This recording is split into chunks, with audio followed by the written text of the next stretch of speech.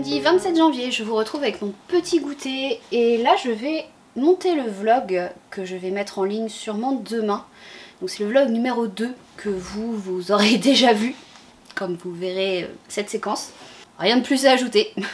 c'est parti je travaille avec Adobe Premiere Pro, donc j'ai déjà dérushé les précédentes euh, vidéos, enfin les précédents tournages, et là du coup j'ai juste à les rajouter de bout en bout ici, à faire des petites modifications de musique. Le plus long en fait c'est de dérocher.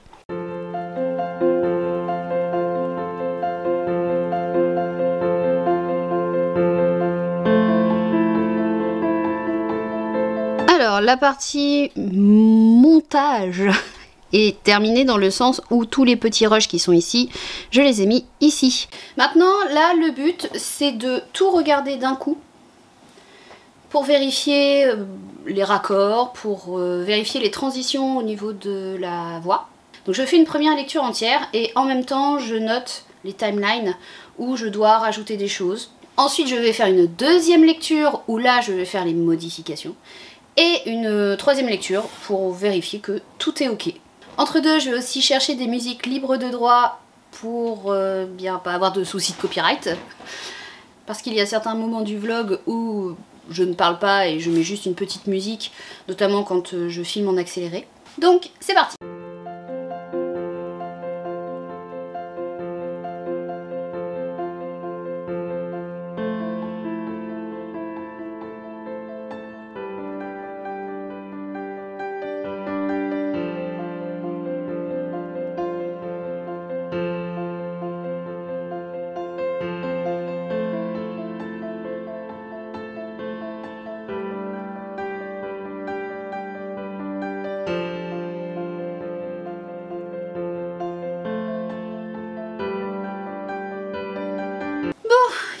presque 6 heures et je viens de terminer le montage. J'ai pas filmé tout le truc parce qu'en fait ça aurait pas été du tout intéressant. En gros ce que j'ai fait, euh, j'ai fait ce que je vous ai dit. J'ai bien vérifié que les raccords étaient bons, j'ai mis des, des, j'ai mis des musiques, j'ai accéléré certaines parties de la vidéo, du basique. Vraiment du basique, il n'y a pas de, gros gros montage, je fais pas de, trucs exceptionnels, je fais vraiment du basique. J'y passe pas non plus une semaine pour tout monter et ça m'arrange parce que j'ai pas que ça à faire. Ça reste vraiment un plaisir. Maintenant ça va être exportation de la vidéo euh, sur l'ordinateur. Et après je vais la programmer, elle sortira demain matin, donc euh, le 28. Allez, j'exporte tout ça et je vous reprends plus tard. Salut Mercredi 7 février et je vous reprends pour ce vlog. Je n'ai pas filmé depuis un bail. Deux raisons à ça.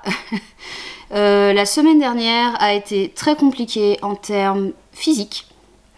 Euh, il y avait des jours où je n'arrivais pas à me lever. Littéralement. C'est-à-dire que j'étais dans le lit et...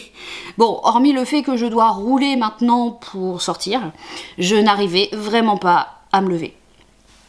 Donc euh, je dormais énormément, c'était euh, pas malade, hein, euh, vraiment pas, pas, pas d'état grippal ni rien, mais physiquement, bah, corps tout mou et tout, bah, c'était moi en gros, je faisais la méduse dans le lit. Donc je n'allais pas filmer forcément, c'était pas super intéressant. Et la deuxième raison, c'est que j'ai eu aussi des gros coups au moral la semaine dernière. J'allais pas non plus filmer ces moments-là parce que c'est pas forcément les trucs que j'ai envie de montrer sur internet. Je me suis pris aussi une sacrée shitstorm euh, jeudi dernier euh, lorsqu'il y a eu euh, les histoires de grève dans l'éducation nationale parce que j'ai fait un post sur les réseaux sociaux en faveur pour rien vous cacher. Et je me suis pris donc une volée de bois vert de la part de, beaucoup de, de parents d'élèves sur Thread. Euh, ça a été waouh.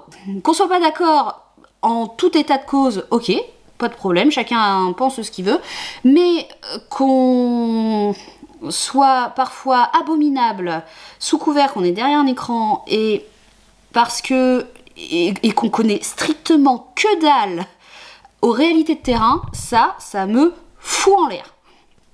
Bon, donc euh, je me suis pris, euh, ça y est, ma première vague de haters, euh, de shitstorm, d'insultes, de, tout ce que vous voulez. Bon, je referme donc la parenthèse, je vais vous parler de choses un peu plus joyeuses. notamment, la semaine dernière, dimanche, j'ai fêté du coup mon anniversaire. Et c'était chouette parce que ma famille comprend très très bien mon addiction aux livres et j'ai eu beaucoup de livres et des chèques cadeaux. J'ai un petit book haul à vous faire. Ah, le fait d'avoir reparlé des haters et tout, ça m'a saoulé. c'est bien, c'est bien que je vous présente des livres, ça va me... voilà. Ça me stresse un peu parce que je n'arrive pas à régler euh, sur mon appareil photo les effets de lumière. un coup je suis jaune, un coup je suis blanche, un coup euh, je sais pas. Bon, c'est pas grave, on va dire que c'est pas du professionnel. On commence avec un premier livre qui m'a été chaudement recommandé par une copine bookstagrammeuse, pardon, c'est dur à dire, euh, qui l'a adoré, ça a été un coup de cœur pour elle, et moi du coup je suis faible quand on me conseille des livres, forcément, donc je l'ai mis dans ma liste. Il s'agit du Silence des repentis, qui normalement ne fait absolument pas partie du style de lecture que je vais lire. Pourquoi? Parce que on est un peu dans un espèce de roman survivaliste d'après ce que je comprends du, du résumé. En gros, on est sur un père et sa fille qui vivent dans une forêt totalement coupée du monde, avec un espèce de secret forcément sous-jacent, parce qu'on a l'impression dans le résumé que le papa euh, cache un truc. Et ils sont ravitaillés par un dénommé Jack, et un jour, Jack ne vient pas. Sauf que c'est l'hiver, il y a de la neige partout. Je ne sais absolument pas vers où ça va m'emmener, à part le fait que j'imagine un espèce de huis clos. J'imagine que euh, ça va être quelque chose avec une, tension latente dans tout, le, dans tout le roman. Je suis vraiment très curieuse de voir ça. On continue avec une lecture qui compose à peu près 95% de ma bibliothèque. Un thriller, il s'agit de Comme deux gouttes de sang. On part là sur un tueur qui commet euh, un assassinat, l'assassinat d'une famille le soir de Noël. Il y a juste sa fille aînée qui, en réchappe. Ça, c'est visiblement une première partie du roman. Et la deuxième, on a un commissaire qui va enquêter dans un manoir abandonné parce qu'il y a eu crime. Ils ont retrouvé un squelette dans la cave. J'imagine que les deux, à un moment donné, vont se percuter. Alors ça a l'air d'être un tome 2, j'ai l'impression, mais tant pis. Euh, bon, déjà, euh, on parle de manoir, de squelettes, euh, de, trucs comme ça. Bon, ok, j'adhère. Je suis curieuse de voir ce que ça va donner aussi. Je crois que je vais vous le dire pour tous les livres, en fait. Donc bon, tant pis. Troisième livre, c'est un livre que je demande depuis, sans mentir, depuis au moins... Oh, au moins peut-être un an et demi. Alors je le vois passer forcément quand je fais mes petites sorties librairie, mais j'ai jamais eu le réflexe de le prendre. Je me suis dit que, allez, j'allais le remettre sur ma liste. Je le mets tous les ans, euh, liste d'anniversaire, liste de Noël, etc. Et là, euh, je l'ai eu. C'est pas le roman que j'attendais absolument avec euh, énormément d'impatience, mais c'est un roman qui m'intriguait. Et surtout, j'adore la couverture. le parapluie de la discorde. Alors, je ne sais absolument pas comment classer ce livre dans ma tête. Euh, vu le résumé, j'aurais dit un cozy crime, mais euh, c'est pas présenté tel quel. Une femme d'affaires est assassinée, le gendre est accusé, et c'est la maîtresse du gendre qui va demander à sa tante de mener l'enquête. C'est pour ça que ça me fait penser un peu à un cozy crime. On verra bien ce que ça va donner. J'ai eu ensuite, pareil, un livre qui me faisait envie depuis assez longtemps. Et par contre, je suis très étonnée de l'épaisseur du livre. Je pensais qu'il serait plus épais en poche. Euh, il s'agit des deux morts de Charity Queen. Et regardez l'épaisseur, ça me semble pas énorme. Alors que le grand format semblait un peu plus gros. Visiblement, je qualifierais ce livre de thriller juridique. Avec une avocate brillante qui se retrouve défigurée et qui refuse de parler de son accident. Si tant est que c'est un accident et un inspecteur en face qui va essayer de résoudre justement l'affaire. Ça a l'air d'être une intrigue beaucoup plus psychologique. Et l'autrice, j'ai déjà lu son premier livre qui s'intitule La chute de la maison White, que j'avais vraiment adoré parce que euh, on n'est pas du tout sur une traque. Pour le coup, c'est une enquête beaucoup plus profonde En général, les inspecteurs dans ces, dans ces intrigues-là doivent se battre contre les rouages des grosses familles. Et c'est super intéressant. Donc il me tarde vraiment de le découvrir. Et encore une fois, j'avais adoré le premier. Alors ça doit pas être une suite, je ne pense pas. Mais vraiment, si vous cherchez une intrigue qui se passe au cœur d'une mafia UP, je vous conseille déjà la, chute de la maison White. Alors celui-là, je peux pas vous le conseiller parce que je l'ai pas encore lu. Mais euh, le précédent, franchement, allez-y. Thriller encore avec Le Mangeur d'âme d'un auteur que je suis en train de lire présentement. Suis en train de lire son premier, euh, pas son premier opus parce que c'est un one shot, c'est Et avec votre esprit, qui m'a aussi chaudement été recommandé sur Bookstagram. Je vous en parlerai plus tard, peut-être dans la vidéo. Pour le moment, je me concentre sur ce livre-là. Ici, on est sur des disparitions d'enfants dans un village, enquête. Ça a l'air d'être du thème que j'aime, enfin que j'aime bien. C'est pas comique du tout. C'est quand même assez dur comme thème, mais je pense que ça c'est le genre qui va me plaire euh, quasi à 100%, sachant que l'auteur a l'air d'avoir un talent certain au niveau de l'écriture, de ce que je vois un petit peu partout. Pour finir avec les poches, oui parce que j'ai eu des poches et j'ai eu les grands formats. Quand je vous dis que ma famille, euh, elle a géré sur ce coup-là, elle a géré. Pour finir avec les poches, j'ai eu euh, en seconde noce, je ne savais pas qu'il venait de sortir en, petit format aussi, donc c'est super. Il faut savoir que euh, je ne suis pas allée du mois de janvier, sauf début, tout début janvier. Mais sinon, j'y suis pas allée à la librairie pour éviter euh, bah, d'avoir envie d'acheter des livres en prévision justement de mon anniversaire. Donc celui-là, je ne savais pas qu'il était sorti en poche. Euh, c'est une autrice que j'aime beaucoup, c'est Shari Lapena. Euh, elle fait beaucoup de thrillers domestiques avec énormément de tension à chaque fois, énormément de... Ça, ressemble beaucoup à des huis clos. Et, et ces intrigues sont vraiment très bien tournées. Dans ce roman, on a Stéphanie qui est mariée, qui est comblée, qui a des bébés euh, en bas âge qui ne dorment pas, mais c'est vraiment le seul souci qu'elle a. Et un jour, une femme arrive, sonne à sa porte et elle lui dit que la première femme de son mari, n'est pas morte par accident, qu'elle euh, détient des informations et qu'elle va les diffuser. Une espèce de chantage qui commence et qui s'exerce, donc ça a l'air d'être euh, assez psychologique, sachant que du coup Stéphanie ne va plus savoir qui croire entre son mari et la maîtresse chanteuse. Je pense qu'on peut dire ça. On passe au grand format avec quelque chose qui est radicalement différent parce que je qualifierais ce livre de romance je le, catégoriserai plus dans les romances. Sous les étoiles de Bloomstone Manor. La couverture, j'adore. C'est déjà ce qui m'a attiré l'œil. On suit Agathe qui a 19 ans en cette fin du 19e siècle et qui se passionne pour l'astronomie. Sauf que c'est une femme et être une femme au 19e siècle qui se passionne pour la science, c'est un petit peu compliqué, surtout dans les sphères aristocratiques. Visiblement, il y a un déménagement à la campagne et elle va rencontrer un voisin tout aussi agaçant que charmant. On n'en sait pas plus. On verra bien ce que ça va donner. On revient avec notre fameux auteur à succès. Alors c'est un tome 2, je ne savais pas. Donc je pense que j'irai acheter le tome 1 ces prochains jours. Hurlement promet d'être aussi une très bonne lecture. 5 euh, femmes kidnappées, 4 victimes introuvables, 3 enquêteurs sur la brèche, 2 jours seulement, un tueur diabolique et zéro chance d'en sortir indemne. Voilà, je vous ai lu le résumé parce qu'il était court. Et résume très bien. J'aurais pas pu dire mieux. Celui-là, il sera dévoré. Et le dernier, le neuvième, il s'agit de de l'ombre, il surgira.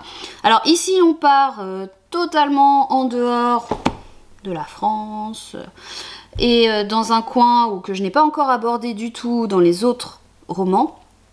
On part dans le bayou avec un médecin légiste qui va devoir traquer un tueur en série classique, mais euh, j'aime beaucoup les intrigues qui se passent notamment dans le bayou. Je ne sais pas pourquoi, le, cadre me plaît particulièrement. Alors je n'y suis jamais allée, j'aimerais bien un jour euh, visiter la Louisiane. Mais on verra ça bien plus tard. Voilà pour ce book haul d'anniversaire. Donc encore une fois, un énorme merci à ma famille qui, gère. Pas d'autres mots. Ça fait donc plus 9 livres dans la pile à lire qui, qui, qui monte à beaucoup Ah, j'avais dit aussi que je vous la montrerai dans ce vlog. Je pense que je vais m'arrêter là pour cette session et en gros je vais vous reprendre plus tard quand j'aurai rentré tout ça dans ma base de données, quand je les aurai rangés aussi dans les bibliothèques. Et ce que je vous propose c'est que après, eh bien, je vais vous présenter du coup mes bibliothèques de piles à lire. On se retrouve dans une seconde. Un petit aperçu des bibliothèques. L'angle n'est pas forcément exceptionnel, mais en gros voilà. Bon, à chaque fois c'est du sol au plafond. Hein.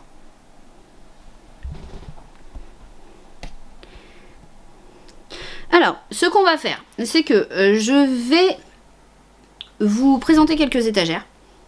Et ensuite, je vais faire un petit montage avec de la musique. Je vais arrêter de parler. Et euh, je vais passer... Je vais essayer de passer tout doucement. Alors, j'ai pas encore trop la, la manipulation au niveau, du, au niveau du trépied. Donc, vous m'excuserez si ça tressaute un peu. je vais essayer de passer tout doucement sur les étagères si vous voulez voir les titres des livres. Alors sachant qu'à chaque fois il y a deux rangées, sincèrement je vais pas m'enquiquiner à retirer les premières rangées pour vous montrer les deuxièmes. On est parti deux, trois explications pour cette partie. Euh, ici, vous avez les Picsou, parce que je suis une grande fan de Picsou. Donc vous avez les Picsou géants que j'ai gardés depuis ma jeunesse. Ici, vous avez une étagère avec tous les albums euh, de l'école que j'étudie avec mes élèves, parce qu'il faut savoir que je paye les albums de ma poche. Donc euh, je les récupère, c'est normal quand on a fini de les étudier. Et je les range ici. Je vais vous en montrer quelques-uns que je fais très régulièrement tous les ans. Donc par exemple ici vous avez euh, une soupe 100% sorcière. Alors ça j'adore. Je le fais avec mes élèves, on l'étudie et à la fin en général on fait une soupe en classe. Euh, forcément, je demande toutes les autorisations, etc. Et euh, c'est moi qui gère euh, la partie cuisine.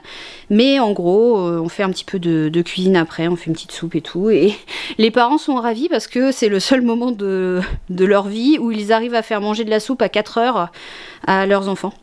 Parce qu'après, forcément, on la mange. Mais en général, comme on l'a fait euh, souvent bah, l'après-midi, pour éviter que les enfants ne soient plus affamés pour la cantine. Donc à 4 heures, on, fait notre petite bol de soupe. Et en général, ils la trouvent délicieuse, forcément. Donc les parents sont ravis. Après, je ne les force pas à manger euh, la soupe. Hein. S'ils veulent pas, ils veulent pas. Moi, en général... Euh, c'est très rare quand ils refusent. Au niveau des sorcières, j'ai aussi la sorcière tambouille qui est vraiment sympa. Oui, on est très, euh, bouffe euh, avec les sorcières. Euh, qu'est-ce que j'ai d'autre de sympa? J'ai Splat. Bah, j'ai des CE, hein, je précise. Donc voilà, en général, à la rentrée, on fait Splat raconte ses vacances par exemple. Des petits albums comme ça. Un autre livre aussi que j'aime beaucoup, c'est Tu lis où? Je fais euh, souvent en début d'année une petite séquence euh, sur la lecture pour montrer aux élèves bah, que c'est pas un truc tabou, qu'on peut lire ce qui nous plaît, qu'on peut lire où on veut. Et qu'est-ce que c'est qu'un livre J'ai galère un peu là. Qu'est-ce que c'est qu'un livre? Voilà. Après j'ai d'autres petits trucs, genre les petites poules. Alors ça, on le fait souvent en fin d'année, ils adorent ça. Voilà. ça c'est c'est pas pour eux, ça c'est pour Kiwi ça. Je sais pas ce qu'il fait là. Ici, vous avez deux étagères de livres qui rassemblent les livres qui traitent d'histoire et de géographie.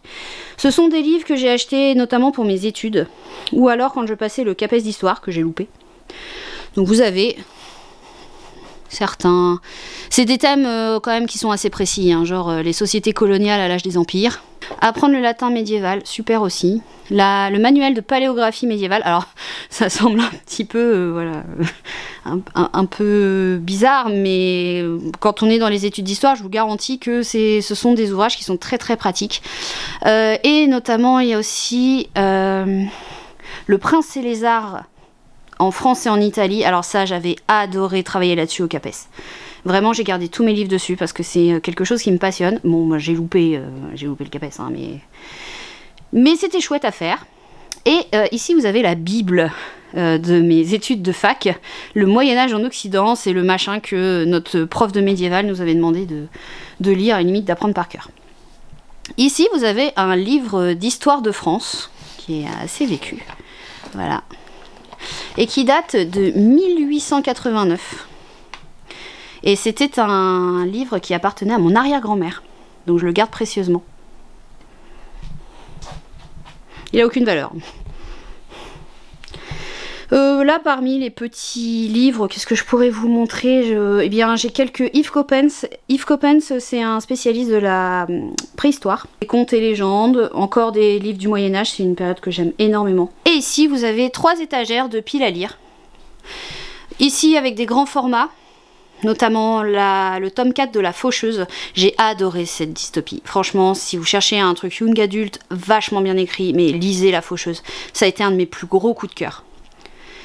Euh, qu'est-ce que j'ai d'autre? Euh, Là, j'ai essayé de faire euh, mon petit coin Cozy Crime pour voir un peu où j'en suis. Donc notamment avec les détectives de Yorkshire. Donc maintenant, je me tais et je vous fais un petit balayage rapide en silence.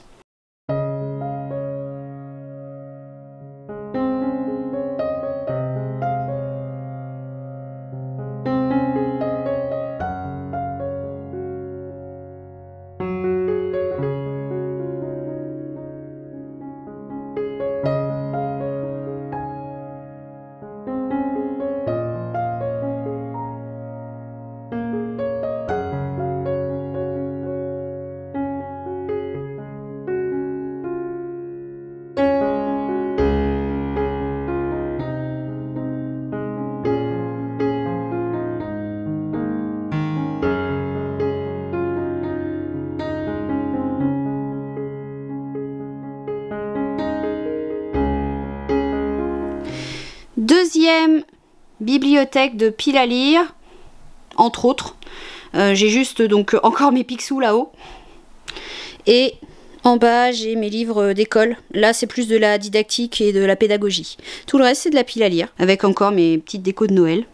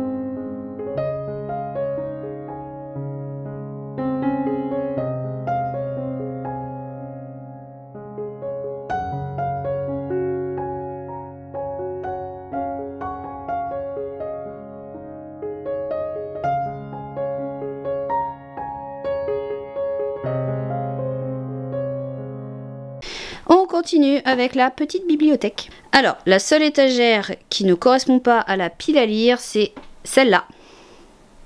Ce sont les romans historiques. Alors, pas les, trucs de fac que je vous ai montré avant, vraiment les romans.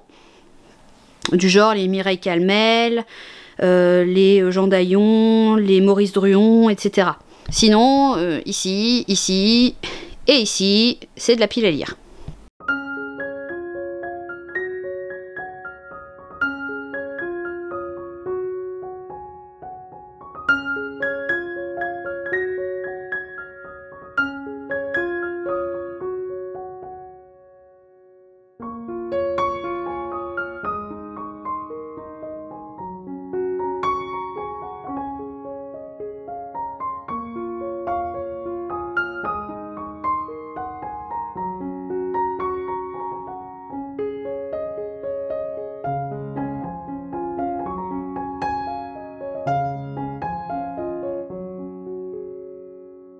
Enfin, la dernière bibliothèque.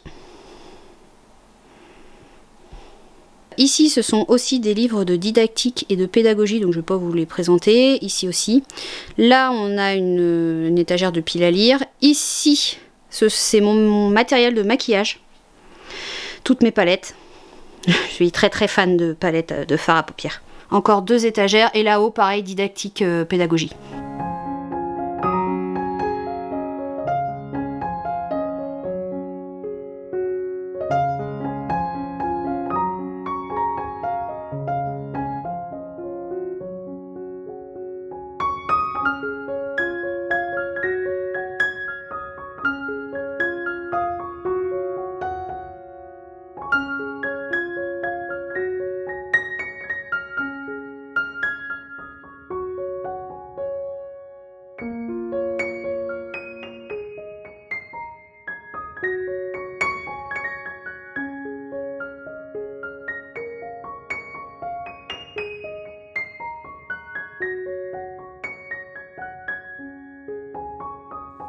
J'avais une petite conclusion à vous faire pour ce vlog, mais ma caméra a bugué.